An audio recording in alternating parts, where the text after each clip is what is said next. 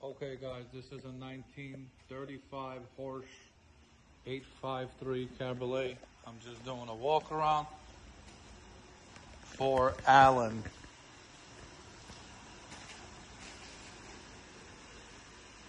There goes the name and the date.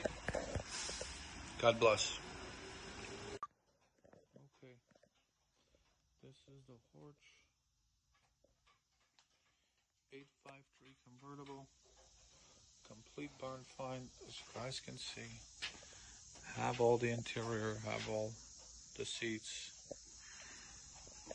But it's definitely gonna need to be gone through.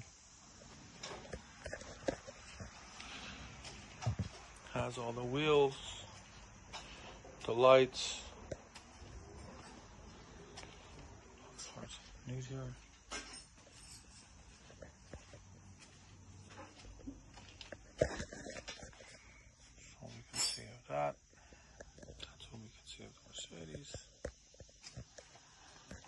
Uh, this is it.